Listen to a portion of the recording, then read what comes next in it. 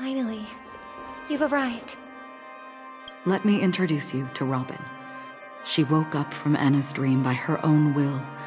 And it's this God tough damn. lady. Robin, interfered with her fucking. Robin. By herself? I woke up for the same reason as all of you. In the dream, I experienced something that could never occur in reality. The bird lived. Going to I fucking knew it! I just. I want to see it fly freely in the sky. I was like, I was like, uh, only one thing can break me out of reality. It's the fucking bird. It's the fucking bird. Without us, this bird would be too fragile.